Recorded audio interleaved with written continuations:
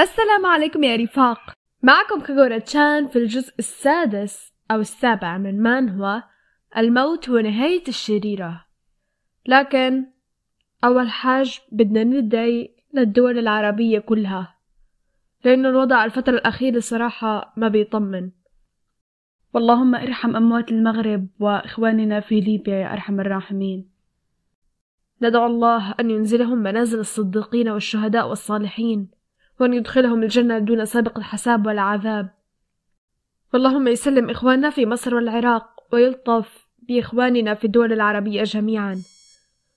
بعد حدوث مشجرة صغيرة بين بنولوبي والسيد وردي بسبب أنه كان اليوم الأخير من المهرجان يوافق نفس اليوم الذي فقدت فيه إيفون الإبنة الحقيقية للدوق ازداد اهتمام السيد وردي ببنولوبي إلى 17% طبعا ليش؟ لأنه في هذه اللحظة عرف ماضي بنولبي الأصلي. والآن لنعود إلى قصتنا.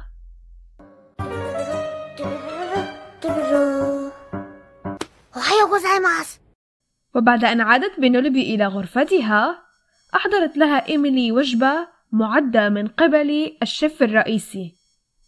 تسأل بنولبي إيميلي هل لحتى الآن وجباتها لم يحضرها الشيف الرئيسي للقصر؟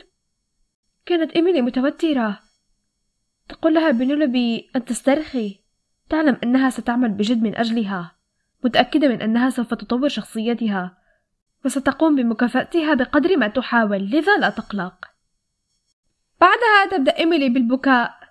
تخبرها بنولبي أن تنتبه إلى سلوكها من الآن فصاعدا والآن فلتقم بمناداة الخادم. هناك شيء ما يزعجها. تقول بنولبي لكبير الخدم أنها استمتعت بالعلية أرادت فقط أن تعرب له عن امتنانها. يقول لها إنه سعيد لسماع ذلك. هل استمتعت بالألعاب النارية؟ لقد كانت أجمل من العام الماضي. كما أن الذوق أمره بأن يفتح لها باب العلية عندما تريد الذهاب إليها. تقول له حقا إنها سعيدة لسماع ذلك.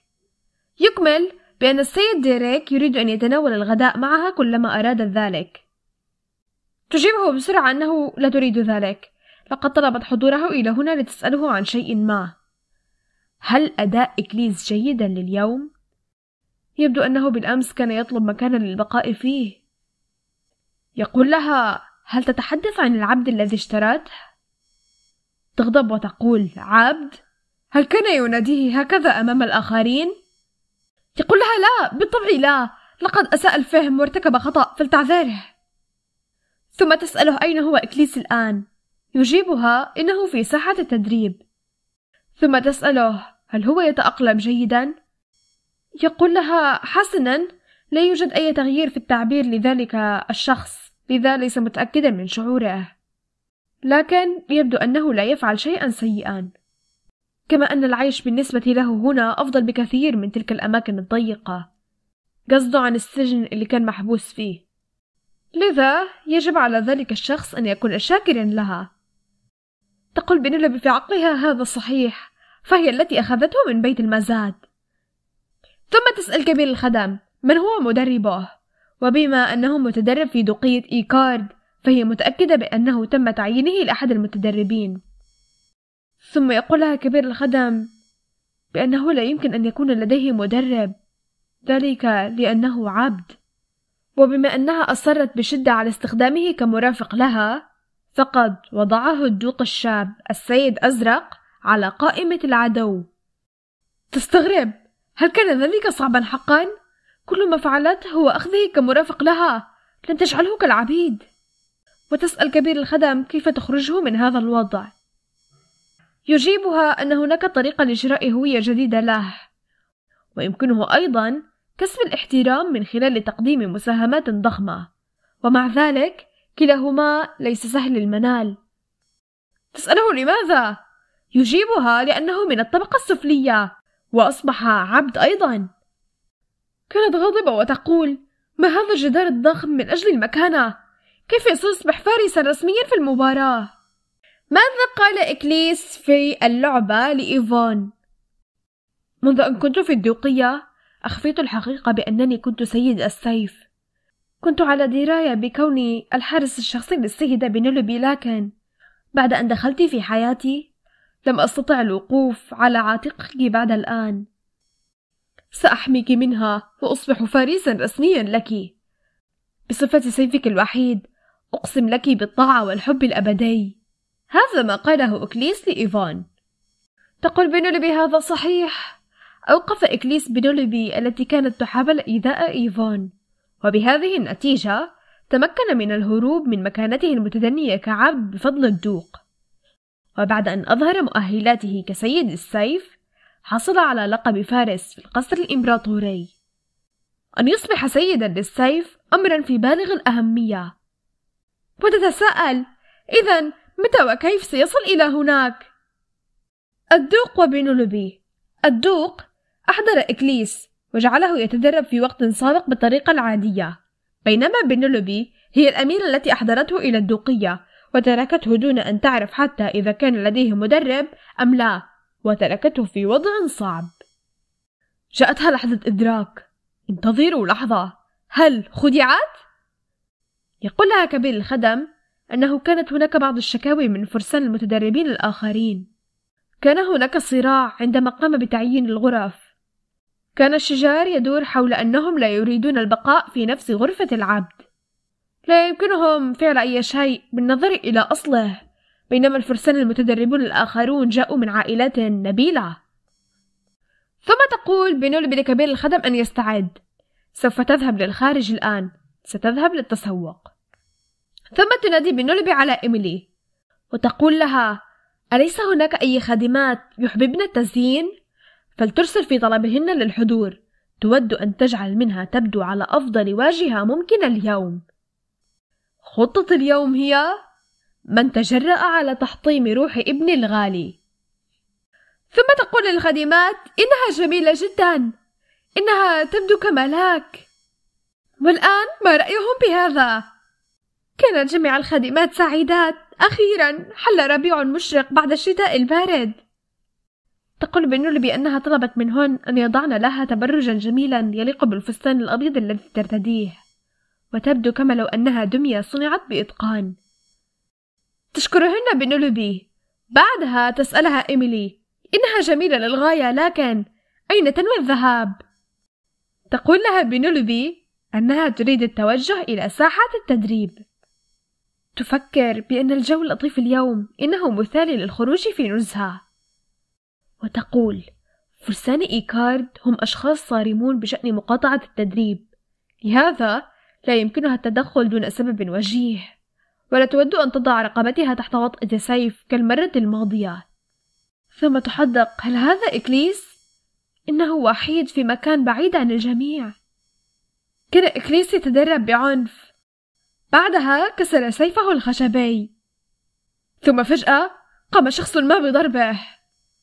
فسعت بنلبي وتقول سوف يقوم بقطع أنفاسه إذا ضربه هكذا. يصرخ عليه ويقول اللعنة عليه! كم مرة سيقوم بتحطيم السيوف الخشبية؟ هل لديه إمكانية دفع ثمنها؟ يعتذر إكليس ويقول إنه آسف سيكون أكثر حذرا في المستقبل. لكن يستمر هذا الشخص بالصراخ بأنها ليست المرة الأولى أو الثانية أو الثالثة التي يكسرها هل يعلم كم هو صعب عليه أن يخبر نائب القائد أنهم بحاجة للمزيد من السيوف الخشبية في كل مرة يقوم بتحطيمها؟ فليركع وحسب لكن إكليس لم يستجيب يصرخ عليه هذا الرجل مرة أخرى ويقول ألا يسمعه؟ هل هو أحمق؟ لقد قال له أن يتمدد على الأرض حالا تقول بنولبي أدوات التدريب على وشك إفساد يوم جميل كهذا؟ الجميع يعلم أن هذه الأشياء الرخيصة تستعمل بكميات هائلة في التدريب لاحتمالية كسرها وهذا لا يستدعي العقاب أساسا هل يعتقد أنه قادر على الاستمرار بالتصرف بهذا الشكل؟ ثم يقول إكليس إنه يتدرب الآن سيأخذ عقابه بعد إكمال التدريب يقول له هذا السيد اللي رأسه مثل رأس الطحالب فلينظر إلى نفسه. إنه عبد وضيع يعطي رأيه بكل ثقة. يمسكه ويقول لكن ما العمل؟ يبدو أنه أساء اختيار السيد الصحيح. الحبل الذي يتمسك به من أجل النجاة فاسد. طبعا إحنا عارفين انه بيحكي عن بنولبي هنا عادت سيدتهم الأصلية إيفون وطردت تلك الفتاة المزيفة. لن تقوم تلك المزيفة بالاعتناء به. ولا يعتقد أنه سيستطيع التعامل مع ما سيحدث مستقبلا. يصرخ عليه إكليس ويقول له كفاه إهانة لسيدته. يسأله رأس الطحلب لماذا؟ وما أدراه أنه لا يشتمها عندما لا يكون هنا. لماذا لا يلعن سيدته هنا؟ أو أنه لا يريد إظهار ذلك الجانب منه. يجيبه إكليس إذا كان فارسا حقا فلا يجب عليه أن يهين آنسة يصرخ رأس الطحلب. هل الآن هو يحاول أن يخبره أن يصمت؟ يا له من هراء فليرجع الآن تقول بنولوبي هل هو يتعرض للضرب ولا يقاوم بسبب عدم وجودها؟ أخبرته في السابق أن مهمته الأولى هي أن يجعل الجميع يعترف به كل ما خشيته بنولوبي هو أن يصل تمرده إلى مسامع والدها فيقوم بإعادته إلى المزاد بعدها وضعوا إكليس على الأرض وقاموا بالسير فوقه. ثم يقوم أحد بضرب رأس الطحلب يلتفت وهو غاضب ويقول أي نوع من الحقراء هو الذي تخبره بنولبي مرحبا؟ وكانت الصدمة للجميع. يصرخ ويقول هل أنت حقا سمو الأميرة؟ وتحدق بنولبي في إكليس زاد مقدار الحب إلى سبعة وعشرين بالمئة. تسألهم هل يقومون الآن بالسخرية من تابعها؟ من سيقوم بتوضيح ما حدث هنا؟ وتنادي على رأس الطحلب وتسأله ما هو اسمه يفزع ويقول لها أتقصده؟ تجيبه أجل إلى أي فيلق ينتمي وأي الفصيلة الأولى أم الثانية يجيبها اسمه هو مارك ألبريت وينتمي إلى الفصيلة الثانية من الفيلق الثالث تسخر منه بنلبي وتقول في عقلها يا له من جرذ في موقعهم هذا فالعاصمة لم تخض حربا من قبل. لذا فالفرقتان الثالثة والرابعة هما كحراس فقط في القصر. لذا هذا يعني أنه لا شيء. تقول له بنولبي هو سيشرح ما حدث. لكن ما شاهدته سلفا فيبدو أنه من بدأ هذا أولا. يخاف ويقول هل هي كانت تشاهد ذلك؟ تشيبه أنت أنت في مشكلة كبيرة أليس كذلك؟ ما الذي يقوم بفعله؟ لماذا لا يقوم بشرح ما حصل لها؟ يجيبها أن ذلك العبد يقصد إكليس تعرض لحادث أثناء التدريب لقد كسر سيفا خشبي وفي هذه الأيام سعر السيوف الخشبية قد ارتفع بشكل كبير ولقد فعل ذلك مرة أو مرتين تقول له إذن يجيبها؟ لقد كان يوجهه بما أنه شخص أعلى منه لكنه فجأة هدده تقول له حقا هل هو صادق؟ يجيبه أجل يرجو منها أن تتفهمه جيدا. ثم تقول له أثناء غيابها قد قام بإهانة أهل القصر. لذا ماذا لو قامت بقتله الآن؟ بتهمة تشويه سمعة النبلاء. يتدخل هذا الشخص ويقول لهم أن يتنحوا جانبا ويطلب من بنولوبي أن تذهب للداخل وهو سيقوم بإحضار القائد. ثم تقول بنولوبي لإكليس إكليس فلتقم بقتل ذلك السافل. بعدها ينقض عليه إكليس مثل الأسد الذي ينقض على فريسته. يصرخ الفرسان إنه سيقوم حقا بقتله ويطلب من بنيلوبي أن توقفه. إنها جريمة بحق فرسان إيكارد. ويخبروها إنهم يعتذروا لها. سيقوموا بإبلاغ الرئيس بما يجري هنا. وهم على أتم الاستعداد لتلقي العقوبة معا. لكن بنولبي كانت لا تهتم. أو تقول أتساءل من أين يأتي صوت النباح ذلك؟ بعدما كان رأس الطحلب على وشك أن يغمى عليه تخبره بنولبي أن يتوقف. تحدق وتقول أنها فوجئت حينما نظرت إلى الأسفل بوجه خال من التعابير. لم تكن تعلم أن إكليس سيقوم بتنفيذ ما أمرته به فورا. هي بالتأكيد لم تكن تنوي قتل مارك لكن مقصدها هو جعل إكليس ينفس عن غضبه لكي لا يحمل لاحقا ضغينة ضدها. لكن إن حاول قتله حتى النهاية كانت ستستخدم الخاتم الذي ترتديه بيدها اليسرى وتقول إنها راضية حقا فقد أقدم إكليس على وضع أوامرها أمام مشاعره الشخصية ثم تقول بنولبي للسيد طحلب ألم يقل للتو أنه لحظة وصول الأميرة الحقيقية ستقوم بطردها؟ وأن الأميرة المزيفة لن تعتني بإكليس؟ لكن أيهما سيكون أسرع؟ طردها من القصر أم فصله؟ ثم تأتيها إشارة من النظام أن علاقتها مع الفرسان في الدوقية تدهورت أدى إلى انخفاض خمس نقاط من سمعتها. تقول في عقلها حسنا ليس لها أهمية في كسب حب الفرسان فهم ليسوا من شأنها. وتقول لإكليس هيا فليأتي معها. أتت إلى هنا بغية أخذه برفقتها إلى الخارج. إنها أول نزهة لهما معا كسيدة ومرافقها. يأتي كبير الخدم عند بنولبي ويقول لها أنه جهز لها العربة من أجل خروجها. وأيضا يقدم لها الدوق هذا الشيك الأبيض الفارغ وكله أمل أنها ستحظى بوقت ممتع بما أنه قد مضى زمن منذ آخر مرة قد خرجت فيها. تقول في عقلها يبدو أن الدوق يهتم بشكل حريص بما حدث يوم أمس. لو علم أنها في طريق عودتها من ساحة التدريب بعد إلقاء قنبلة هناك لم يكن ليعطيها شيئا كهذا. وتقول له حسنا فليبلغ والدها بأنها ممتنة له. تمد بنلب يدها لإكليس لكنه لا يتحرك. تقول له هل هو غبي؟ في هذا الموقف يجدر به أن يرافق الآنسة. يقول لها لكنه مجرد عبد. تقول له كلا إنه الآن مرافقها الخاص. لذا ما الذي عليهم فعله في هذا الموقف الآن؟ بعدها ينحني إكليس لها. يستغرب كبير الخدم ويقول يا لهذا الولاء. ويقول لها إكليس أن تدوس على قدمه للدخول إلى العربة. ثم يقول لها إكليس لماذا لم تأتي لرؤيته طوال تلك المدة؟ تسأله هل كان حزينا؟ يجيبها أنها وعدته كان يأمل أن تكافئ لقاء عمله الشاق بمجيئه إليها. ثم تقول في عقلها أنها نست ذلك. السبب الذي منعها من رؤية إكليس مجددا هو ما حدث في المرة الماضية في ذلك اليوم الممطر. ويقول لها أنه انتظر مجيئها كل يوم. تقول له لأنها تتقزز من ذلك. صدم منها.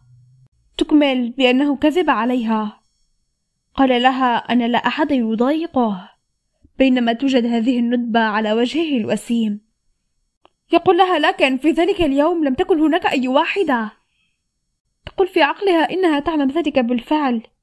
ذلك اليوم كان يلوح بالسيف كشخص مستعد لقتل أيا كان من يظهر أمام نظيريه. وتقول له على أي حال؟ لم يخبرها عما حدث أولا. لذا؟ فالمكافأة قد ألغيت. يقول لها لكن؟ تقاطعه وتخبره أن يصمت. بدلا من ذلك لقد جاءت اليوم لتمنحه مكافأة أخرى. لذا كفى تذمرا ولينتظر قليلا. بعدها زاد الحب إلى ثلاث وثلاثين بالمئة وكان إكليس يشعر بالخجل. تحدق في تعابيره مصدومة وتقول بتفكيري في الأمر يبلغ إكليس سبعة عشر عاما تقريبا أي أنه في عمر بنولب الآن لكنها في الواقع بالغة ذات العشرون عاما. إذا هل هذا معناه أنها تحاول إغواء شاب أصغر منها؟ لكن لماذا يبدو أنها الشخص الذي فتن بجماله هنا؟ بعدها تدخل بنولوبي وإكليس إلى متجر للأسلحة كانت أول شيء تريده بنولوبي هو السيوف الخشبية وتقول لإكليس أن يختار من بينها يجيبها إنه ليس متأكد لكنها شبيهة بتلك التي توجد في مركز التدريب يمكنه استعمالها لمرة واحدة فحسب.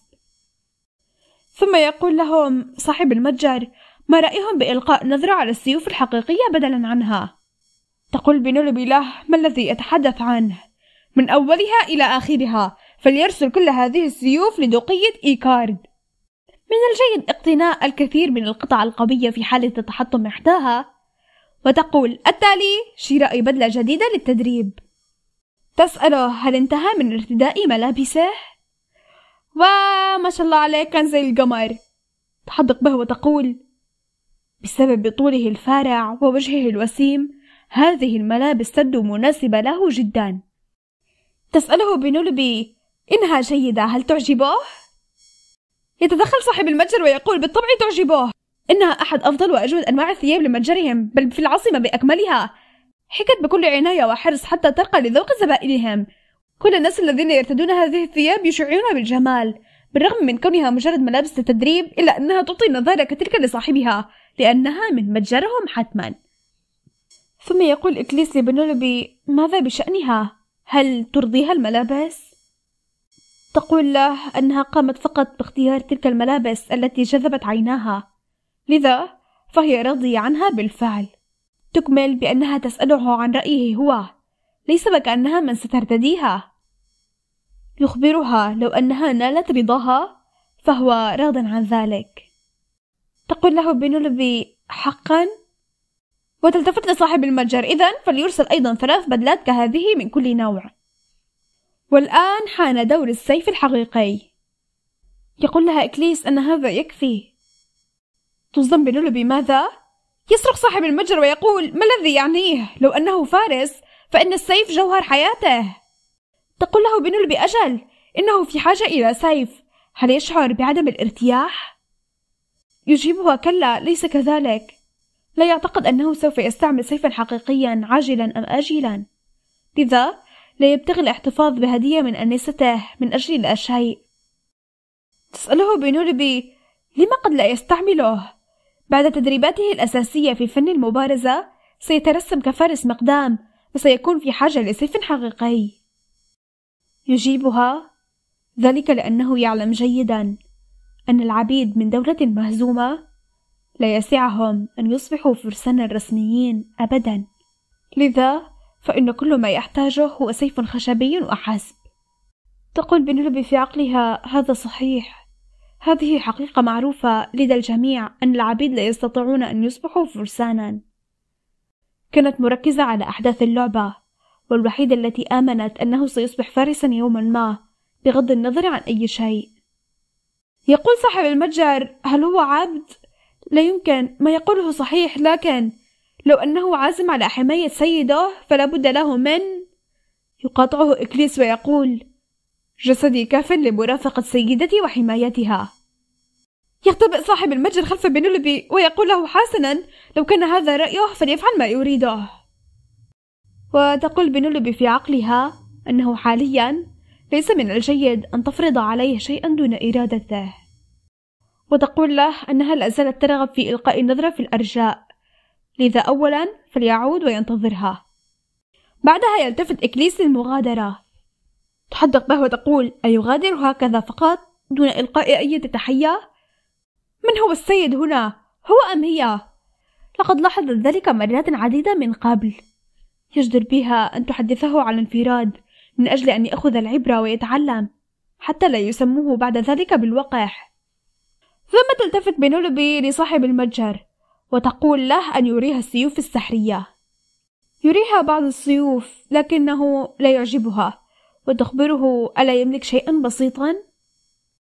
بعدها يقوم بإحضار هذه العلبة لها ويقول ما رأيها حول سيف الساحر القديم؟ تحدق مستغربة وتقول ما هذا؟ هل يحضر قلادة زينتها سيف صغير؟ لمن طلب سيفا سحريا؟ هل يحاول السخرية منها الآن؟ يقول لها كلا كيف له أن يجرؤ هذا غير صحيح. يخبرها لو أنها تحمل هذه القلادة وتضخ بعض الماء عبرها فهذه الزينة البسيطة ستتحول إلى سيف سحري حقيقي. تتساءل هل هذه لعبة من نوع ما؟ حتى لو كان ما يزعمه صحيحا فأولئك الذين لا يملكون مانا لن يكون بمقدورهم استعماله. يجيبها أن جميع الفرسان الذين تدربوا بجد وتفان قادرون على تطوير تعاملهم مع المانا خاصتهم شيئا فشيئا. لذا يمكنهم أساسا استخدام السيوف السحرية. تقول بنربي تعلم ذلك لكن إكليس يظل يقطعها صاحب المتجر ويقول لا عليها. لقد اشتغل في مجال بيع الأسلحة لعقود وهو أدرى أن ذلك العبد يقصد مرافقها. كانت الروح التي تتدفق داخل جسده عظيمة. يمكنه الجزم أنه لم يرى شخصا تنبعث منه تلك الهالة المرعبة طوال حياته. تقول بنلبي في عقلها. صحيح هذا أمر مفروغ منه. مستقبله أن يكون عبقري السيف بعد كل شيء. بعدها يبدأ صاحب المتجر بالبكاء ويقول بالطبع في الحقيقة هذا السيف نادر للغاية. تم شراؤه من السوق السوداء بسعر مرتفع جدا. صغير العزيز سيفي الصغير رغم أنه باهظ الثمن إلا أن السيافين غالبا ما ينجذبون للسيوف الفاخرة. متجاهلين إياه. ويقول أنه تم صنعه من قبل الأقزام الذين انقرضوا منذ قدم الأزمنة. وبما أنهم انقرضوا لا أحد يمكنه صنع مثيل له ويقول لها حتى لو كان حامله يتجول في وسط القصر الإمبراطوري فلا أحد سيكتشف عن وجود سيف سحري بحوزته. تحدق بالسيف وتقول يا لها من نية وقحة ليست مهتمة باغتيال أي أحد. ما يجذب انتباهها هو السيف ذاته. سيف لا يلاحظه الآخرون لكنه يحمله معه دائما. فكرت لوهلة بانتقاء خنجر صغير لكن هذا أفضل. بالنسبة لإكليس لو كان سيفا حقيقيا أو مجرد لعبة تزين القلادة فالأمر سيان ما أن يمسكه بيده حتى يصبح سلاحا بكل ما تحمل الكلمة من معناه. ثم تقول بنولبي لصاحب المتجر إذا سوف تشتريه. كان صاحب المتجر سعيد جدا ويقول لها شكرا. أخيرا وجد صغيره العزيز مالكه المناسب. بعدها تعود بنولبي وتقول لإكليس فليحظوا بنزهة معا. ألن يشعر بالوحدة إذا تجولت بمفردها؟ تسأله بنولبي هل يشعر بحال أفضل؟ لقد مر بيوم عصيب منذ الصباح. كم مرة قد حدثت أشياء كتلك في غيابها؟ يقول لها إنها المرة الأولى. تقول له ألا يكذب أخبرته أن يحاول جعل ساكني الدوقية يعترفون به لكنها لا تعتزم توبيخه لعدم فعل ذلك حتى الآن وتسأله هل كان أخاها ليوناردو من حث الآخرين للتنمر عليه ومضايقته؟ فليخبرها الآن ستحاول تولي هذه المسألة بنفسها يقاطعها ويقول كيف لها ذلك؟ ماذا يمكنها أن تفعل للفرسان؟ مهما فعلت لا مجال لتغيير نظرتهم إليه ما دام عبدا. لو أنها تقدم على فعل ذلك من أجله فلتتظاهر بعدم رؤية أي مما حدث فذلك لا يهمه. تحدق به وتقول بجدية؟ كلا هذا ليس مقصده من كلامه. ما يقصده؟ أنه سوف أبقى بجانبك لذا لا تجعليني أطرد من أجل لا شيء. وتقول يبدو لها أن إكليس قد تكيف مع أجواء الدوقية وكيفية سير الأمور بسرعة أكثر مما تخيلت. إنها متأكدة أيضا من أنه عرف مكانة الأميرة المزيفة داخل أسوار هذا المنزل. كان إكليس أحد الشخصيات التي يصعب جذب انتباهها حتى في الوضع العادي. ظنت أن ذلك بسبب الولاء الذي كان يكنه تجاه سيدته بنلبي سابقا. لكن الآن إنها تعلم. لقد كان مستعدا للتمسك بأي حبل يمتد أمام ناظريه من أجل النجاة. هذه هي حقيقة شخصية إكليس. تكمل في الواقع لقد رفعت آمالها عاليا بعد حادثة هذا الصباح. من المضحك أنها جعلته يتبعها إلى متجر الأسلحة بحماس مفرط. وتتساءل لما لم تفكر حينها أن إكليس كان يقيس مقدار صلاحها له؟ إنه يراها كحبل نجاة أو مجرد حبل فاسد كما يزعمون. ثم تخبره إنه على حق. الآن إنه يعلم مكانتها في الدقية. ليست تملك القدرة على تحرير القيود عنه حاليا. ما دام عبدا فمسألة التنمر والمضايقة أمر وارد الحدوث ولا يمكن تجنبه. لكنها ستحرص على بقائه ضمن الفرسان. لو أصبحت مهاراته أعلى بقليل فبإمكانه جذب اهتمام الدوق لذا فليتحمل الصعاب مهما كان حزينا وليتذكر هذا جيدا. فليستمر بالتدريب لتحسين مهاراته. وأحيانا ستأتي للمرح معه كما فعلت اليوم. ثم تقول له أنا وأنت عجبا لحياتنا البائسة. وتقول له ها هو ذا فليأخذ هذا. قد يبدو له كلعبة لكنه في الواقع سيف فليمسك القلادة وليحاول ضخ بعض الماء عبرها. بعدما أمسك إكليس بالقلادة توحش وأصبح سيفا كبيرا. تقول بنوربي أنها قامت بالتهديد أنها ستقوم باسترجاع المال عشرة أضعاف الفعلي لو كان الأمر مجرد خدعة لكنه كان صادقا. ثم يسألها إكليس لماذا؟ تجيبه في إمبراطورية إينوكا من غير المعقول أن يحمل العبيد من دولة مهزومة سيفا سحريا. لكن حتى لو ظل على عناده ولم يرد تغيير رأيه بشأن اتخاذها كسيدته فالفارس الذي ستختاره ليكون بجانبها دائما سيكون هو وحده لا غير. والآن ما الذي ينوي فعله؟ بعدها يأتي لنا كلام إيفون من الرواية. إكليس لا تقل لي أنك عبد لست أهتم بلقبك أو أيا كان. أنت فارسي وستظل كذلك للأبد. ثم تقول بنولب لإكليس هل يقبل أن يكون فارسها؟ أو سيستمر على نهج العبودية؟ فليختر الآن. تقول في عقلها هذا تهديد حرفيا. لو أنه رفض قبول هديتها تفكر بإعطائها للدوق أو لديريك على أي حال. بعدها ينحني ويقول لها كفارسك الواحد والوحيد بالطاعة والولاء الدائم. أنا أقسم لك سيدتي. تقول ولاء لكن في الوضع العادي أقسم بالولاء الدائم والحب الأبدي لإيفون. تكمل بأنه كلا ما حدث أن الأمور قد تغيرت. وتقول له بنولبي ألا يجرؤ على خيانتها لأن الخيانة تعني الموت. وكان الدوق وبنولبي يحدقان في بعضهما البعض. وتخبرنا هذا ما آلت إليه الأوضاع. وتتساءل هل نادها بسبب ما حدث صباح هذا اليوم؟ ليست متأكدة فهناك عدة أسباب تستدعي قدومها. واحد بشأن الشجار مع ليوناردو. اثنين بشأن ما أحدثته في مركز التدريب. ثلاثة بشأن صناديق السيوف الخشبية التي اقتنتها بأعداد مهولة عبر الشيك الأبيض. يسألها الدوق هل تود شرب الشاي؟ تجيبه لو أراد ذلك سيسرها الأمر. تقول في عقلها إنها المرة الأولى التي تشرب فيها الشاي مع إحدى الشخصيات. مهما تعددت مرات مجيئها إلى هذا المكان فالأمور واضحة. توسل الغفران عن أخطائها. النجاة بحياتها والخروج من هنا سريعا. تكمل بأنه منذ فترة وجيزة لم تكن لتحظى بمعاملة متساوية. كان شأنها شأن الأشخاص العاديين.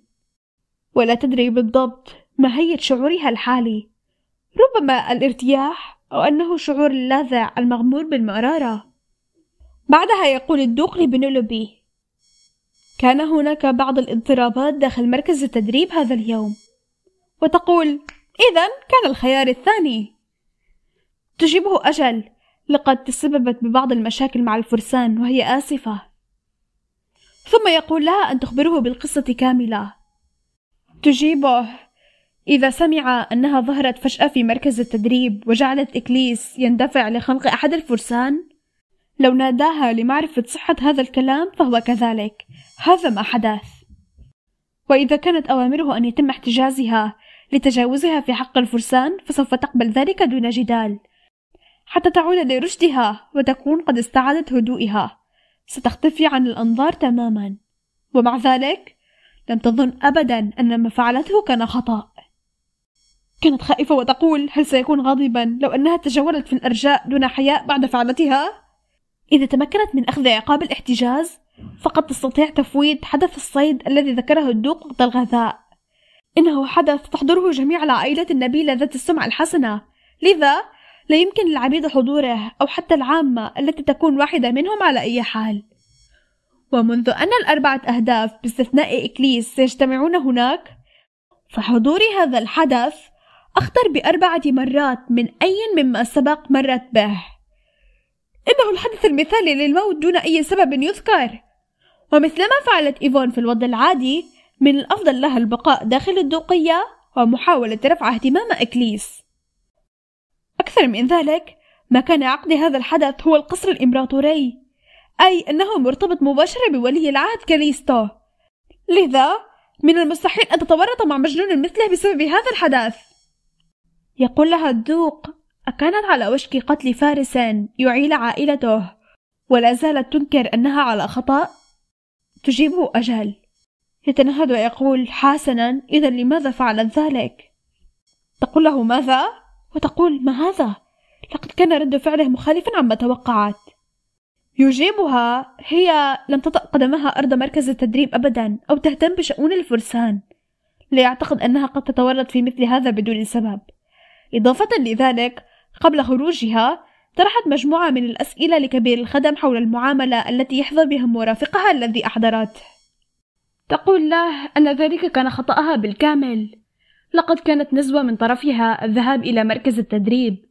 وبما أنه لم تعجبها معاملة الفرسان لبعضهم البعض يقاطعها الدوق ويقول أكد له الفرسان أنها تدخلت أثناء فرض معاقبة بحق مرافقها الذي أذنب. إذا فقد كان ما حدث متعلقا به. يكمل ويقول بنولوبي إيكارد. كانت خائفة جدا. لماذا ينادي على اسمها بالكامل؟ أنا الآن أسألك تحت اسم عائلة إيكارد. تأكدي من الإجابة بعناية. أو أنني سأقوم بطرد هذا العبد الوضيع الذي تسبب بهذه الفوضى داخل مركز التدريب دون أدنى اهتمام لوضعه. كانت تبكي في داخلها وتقول له أن يمهلها بعض الراحة. وليس هناك الكثير لتخبره إياه. بعدها تقول له رأت فارسا يدعى مارك يفرض عقوبة قاسية بحق إكليس الذي لم يقم سوى بكسر سيف خشبي في خضم التدريب. يقول لها الدوق أنه من الشائع فرض عقوبات قاسية على الفرسان من أجل الانضباط العسكري. إنها كبيرة بما فيه الكفاية لتدرك هذه الأمور. تقاطعه وتقول عندما كان يعاقبه تجرأ على إهانتها هي سيدة إكليس.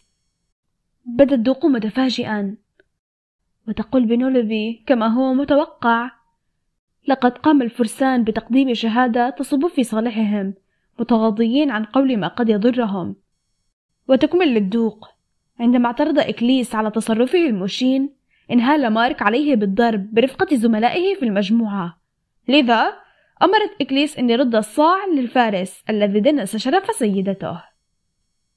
ثم يقول الدوق هذا الشقي لماذا يجرؤ على إهانتها؟ تجيبه لأنها أميرة مزيفة غير قادرة على الاهتمام بنفسها لو تم طردها خارجا. لذلك أخبروا إكليس أن يدرك في أقرب وقت أن الملك الذي اختار خدمته خاطئ وأنها مجرد حبل فاسد. تقول في عقلها أنها سأمت من كل هذا. كم عدد المرات التي يجب عليها تكرار هذه المحادثة حتى تهرب من هذا الوضع؟ ثم يقول لها الدوق لماذا لماذا لم تأتي إليه أو لديريك وتخبرهم بما حدث على الفور؟ تجيبه أنها عاقبت المذنب في الحال. لم يكن الأمر يستحق إخبار أحدهما. يصرخ ويقول لم يكن يستحق؟ تقول أن أحد الفرسان تجاوز ألفاظه وتفوه بكلمات مبتذلة تجاه الأميرة والأمر لا يستحق. تقول له لكن فرسان عائلة إيكارد مخلصون له. إنه فقط لا يكن أي ولاء تجاهها هي. يخبرها ما الذي تتحدث عنه الآن؟ جميع فرسان العائلة يعتبرون فرسانها أيضا. سيظل الأمر كذلك ما دامت تحمل لقب إيكارد. تقول له أن إكليس كاف بالنسبة لها. يصرخ ويقول إنهم لا يتحدثوا عن المرافقين. تصرخ عليه بأنهم يتحدثوا عن الفرسان. بينما كان هناك ذلك الفارس الذي يدعى مارك يهينها ويدنس سمعتها لم يكن أي أحد ليقف في وجهه. أو ينكر أقواله. حينها وخلال ليلة المهرجان كذلك كان إكليس هو الشخص الوحيد والفارس الذي قام بحمايتها. يقول لها إذا بسبب ذلك شرت الستمائة سيف خشبي؟ تقول هل كان عددهم بهذه الكثرة؟ لقد رأت كبير الخدم يوصل التذمر. تجيبه أنها شعرت بالأسف تجاهه لذا اشترت له سيفا سحريا. يقول لها الدوق بخصوص الشيك الأبيض الذي أعطاه إياها. تقاطع وتقول ألا يقم بمعاتبتها كثيرا. ألم يقل لها أن تستمتع بوقتها؟ كانت تحاول أن تكون ظريفة. وتقول في عقلها تأمل أن هذا لن يأتي بنتائج عكسية. لأن هذا غريب. لم يسبق لها أن تصرفت بظرافة طوال حياتها. ولم تخطط لفعل شيء كهذا هذا اليوم. ثم يقول لها الدوق ألا تشرب الشاي البارد وإلا ستصاب بالزكام. سيأمرهم بتدفئته ويناديها لاحقا. وتقول في عقلها يس لقد نجحت. كان من الجيد التفكير في وضع بعض الاستعدادات بعد حادثة العلية مع ليوناردو. كما أن الاعتذار لا يفلح في كل مرة. سيصبح الوضع الصعب أكثر صعوبة. لذا يجب عليها التأقلم بوضع استراتيجيات وفقا لذلك. بعدها يقول لها الدوق لا يعتقد ذلك. لا مجال للعبيد. كان بيتحدث عن إكليس إنه العبيد لا يمكنهم أن يصبحوا فرسانا. تسأله ماذا؟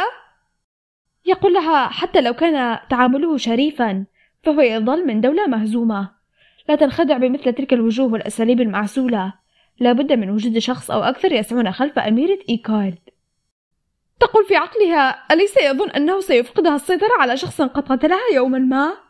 وعجبا لهذا الوجه المعسول. كلما رأت نسبة اهتمامه تقل كلما سقط قلبها في جحر من الخوف. ثم تقول لوالدها تدري أنها ليست فتاة جيدة ذات صواب لكنها ليست بذلك الطيش حتما. يخبرها الدوق إنه يقول هذا لها لأنه لديه وجه جميل. تقول له إنهم ليسوا في رواية مشهورة أو نوع من روايات الارتباط بالفرسان كما أنها لا تحب الشباب الصغار. يقول لها حسنا سيصدق مقالته الآن. على أي حال جميع الأهداف ملك لإيفون. وفي النهاية لن يكون بوسعها سوى المغادرة من هنا دون إلقاء نظرة للوراء. التوقعات الباطلة والمشاعر غير الضرورية ليست إلا مجرد إلهاء. ثم تقول له بنيلوبي إذا كان قلقا للغاية لن تخرج من غرفتها لفترة. يقول لها أن ما فعلته كان صوابا. هي أيضا يجب عليها حضور مسابقة الصيد. وهذا يعني أنه ليس عليها الذهاب في غرفتها فحسب بل بالأحرى اغتنام الفرصة لتتسكع مع أشخاص بنفس سنها. من خلال ذلك فلتحاول تحسين مزاجها الحاد. تقول له لكن بالأمس قد تسببت بمشكلة كبيرة. يقول لها ما المشكلة في ذلك إذن؟ ما حدث قد حدث لن يتغير أبدا فليتوقفوا عن التحدث عن هذا. بعدها يريها الدوق هذا القوس والنشاب. تأتيها إشارة من النظام بأنها حصلت على المكافأة وتقول بالتفكير في الأمر هل كان هذا هو نفس القوس والنشاب الذي ظهر في الحدث السابق مع الوغد اللعين؟ ليوناردو؟ يقول لها الدوق هذا القوس والنشاب خاصتها وهذه المرة أحدث بعض التغيرات لضمان سلامتها. ثم يظهر هذه الكرات ويقول لها هذه البلورات السحرية ستحل محل السهام إذا تعرض شخص ما للإصابة فسوف يفقد المرء وعيه لفترة من الوقت بسبب إشعاعات البلورات. كما أنه ليس قويا بما فيه الكفاية ليؤدي إلى الموت لذلك حتى لو كان إنسانا فلن يؤلمه الضرر كثيرا. تقول على أي حال يبدو أن مشاركتها بحدث الصيد محتومة. سيكون من دواعي سرورها لو استطاعت تجنب مجال نظر الأمير على الأقل. يكمل الدوق بأن هذه الأداة تحتوي على سحر معين بإمكانه إفقاد ذكريات الشخص قبل لحظة من إصابته. تتساءل بنولبي لماذا قد يكون هذا النوع من السحر متوفر في القوس والنشاب؟ يكمل الدوق أنها إذا لم تقوى على كبح نفسها فلترشد الهدف إلى مكان خال من الناس ولتطلق عليه بالسهم. تصدم بنولبي من قول الدوق بعدها تصرخ وتقول له ماذا؟ ما الذي يقوله للتو؟ مستحيل عليها إصابة شخص ما يقول لها ألا تجعل من سمعة عائلتها تبرز بنفس المظهر المخزي بالقفز والرقد أمام أنظار الجميع مثل العام الماضي لن يتذكر المصاب حالما يتم إصابته لذا لا تترك أي شهود على فعلتها هل تفهم؟ تقول بنولبي أن تصرفات الدوق مخيفة للغاية هل كانت بنولبي شخص خارج عن السيطرة لهذه الدرجة؟ بعدها تشكره بنولبي وتقول إنها ستستخدمه بحذر. يقول لها الدوق اليوم كان يريد إعطاء هذا لها بعد سماع القصة كاملة من وجهتها. لم ينوي توبيخها من الأساس. ثم يخبرها أنه طالت المحادثة أكثر من المتوقع فلتذهب لغرفتها الآن. سيجعل أحدهم يحضر القوس إليها لاحقا. ثم تقول له بنولبي هي أيضا تريد إهداءه شيئا ما. بعدها تقدم له هذه الجوهرة. يقول لها أليست هذه تميمة؟ وتقول لوالدها هذه التميمة هي تعويذة نقل آني. يسألها لماذا تقدمها له؟ تجيبه إنها الهدية الأكثر شيوعا هذه الأيام بين النبلاء الذين سيحضرون إلى مسابقة الصيد. كان مستغرب. أستقدم له هدية؟ تجيبه نعم. يقال أن مسابقة الصيد هذا العام ستمتلئ بالزوار من مختلف البلدان. أيضا إنهم يخططون لإطلاق بعض الحيوانات النادرة التي سيتم إحضارها. فقط للاحتياط تتمنى أن يبقيها محمولة بملابسه أثناء المنافسة. يسألها من قال أنه يريد أن يؤذيه. من يتجرأ على ذلك؟ تخبره أنه لن تعيقه لكن لا يعرف أي قوة سياسية تكيد لعائلتهم لطالما كانت إيكارد عائلة محايدة إذا حدث شيء غير صار لسلامة والدها إنها لا تعرف نوع القوى التي ستحاول الاستفادة من هذا لإحداث صراع بين الفصائل. يجيبها نعم لديها فكرة جديرة بالثناء ثم يقول لها لا بأس سيتأكد من إبقائها بحوزته. ثم تقول للدوق أنها ذاهبة الآن وتفكر في عقلها. أن السبب الرئيسي لإحضارها التعويذة ذلك لتحسين مزاج الدوق في حالة كان غاضبا. وبالرغم من أنه لا علاقة للنقل الفوري بغايتها لكن من الجيد أنها قدمته له على أي حال. بعدها ينادي الدوق على بنولوبي ويقول لها أنها أصبحت أكثر نضجا هذه الأيام. تجيبه بنولوبي لا يمكنها القول أنها لن تلومه أبدا. لكن تبنيه لها وإحضارها هنا لم تكن ممتنة أبدا لهذا ولا حتى قليلا. تتساءل في عقلها هل هذا لأجل بنولوبي المسكينة؟ أم لأنها لا تعامل كطفلة غير ناضجة كبنولوبي بعدها تأتيها إشارة من النظام. تم تحسين العلاقة مع دوق إيكارد ازداد معدل التفضيل بنسبة 15% وتجيب في عقلها في كلتا الحالتين. هي ترغب في البكاء قليلا. بعدها تعود بنولوبي إلى غرفتها وتقوم بتقديم هذه التعويذة إليها. تسألها إيميلي ما هذا؟ تجيبها بنولوبي إنها هدية لها. تعمل على حمايتها من الأخطار المجهولة إذا قامت بحملها قريبا من جسدها. لقد اشترت لها واحدة هي أيضا عندما ذهبت للتسوق. تكمل بأن لديها الكثير من الأعداء وهي قد أصبحت من القلة المقربين لها. لا تعرف ماذا أو متى سيحدث المشاكل. لذا فلتبقيها دائما على مقربة منها. تقول بنلبي في عقلها تشعر بالذنب تجاهها لتنفيس غضبها عليها من قبل. وفي الواقع هي لا تعلم. فكرت بجعلها ساعدها الأيمن. لكن إذا رفضت هذه الهدية ربما ستقدمها لشخص آخر. بعدها تبدأ إيميلي بالبكاء وتقول لم تتلقى هدية كهذه من قبل خلال فترة عملها في قصر الذوق إنها بغاية الجمال ستعمل بجهد مضاعف من الآن فصاعدا وتشكر بنولوبي وتأتيها إشارة من النظام أنه تم تحسين علاقتها مع شخصية من منزل الدوق. تبتسم بنولوبي وتقول أجل تتمنى أن تستمر الأمور على هذا النحو. قبل أيام قليلة من مسابقة الصيد جاء كبير الخدم إلى بنولوبي وأحضر لها دعوة. تقول له ما هذا؟ ألم تخبره أن يحرق كل الدعوات التي تصلها لأنها لا تنوي حضور أي حفلة؟ يقول لها لكن إنها رسالة من القصر الإمبراطوري لذلك لم يستطيع التعامل معها بمفردة. كانت خائفة وتقول لا تريد قراءتها لكن عليها ذلك. كانت الرسالة تقول عزيزتي الأميرة بنولوبي إيكارد لقد مرت عدة أشهر بالفعل. منذ لقائنا في حديقة المتاهة. خلال تلك الفترة تأكدت من إرسال دعوة للأميرة كلما أقيمت مأدبة سواء كانت كبيرة أم صغيرة في القصر الإمبراطوري. لكن قيل لي أن الأميرة لم تلبي الدعوة أبدا. أما زلت تعانين من أثار السم؟ لحسن الحظ مسابقة الصيد ستبدأ قريبا. لذا لن يمر وقت طويل قبل أن أراك مرة أخرى. لابد أنك قد سمعت أنه قد تم رفع الحظر المفروض على الأميرة. أنا شخصيا رفعت صوتي من أجل أميرة مريضة. لذا أتمنى أن تتحسني قريبا وأن نتقابل في يوم قريب. ملاحظة. أنت لم تنسي الوعد الذي قطعتيه لي أليس كذلك؟ أي أنه في المرة القادمة التي يلتقيا فيها سيتعين عليها الشرح بالتفصيل. لما وكيف أحبت ولي العهد؟ من الأفضل أن تتذكري يا أميرة. أنا حقا أتطلع للاستماع لك. لقد صبرت لفترة طويلة بسبب ذلك السم اللعين. كاليستوري جوليوس. تمزق بنولو بالرسالة وتقول إنه مجنون. يسألها كبير الخدم أي نوع من الرسائل يجعلها تتصرف هكذا. تقول في عقلها إنها رسالة تهديد من رجل مجنون ليس لديه ما يفعله.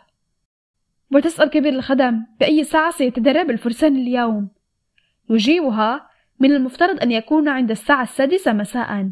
هل لديها عمل هناك؟ تقول في عقلها في الواقع كانت تفكر في إطلاق سهم أو اثنين عليه بمهارات بنولبي في الرماية. لكن لا يمكنها فعل ذلك الآن. وتقول لكبير الخدم أنها ستستخدم ساحة التدريب اليوم. الآن أصبح لديها سبب لتحسن مهاراتها في الرماية لكي تقوم بقتل ولي العهد المتخلف ذلك. وبهذا نكون وصلنا إلى نهاية تلخيصنا لليوم. يا ترى يا هل ترى ما الذي سيفعلانه ولي العهد وبنلبي عندما يلتقيان؟ هذا ما سنراه في الحلقة القادمة أو اللي بعدها. السلام. مسك الختام. وداعاً.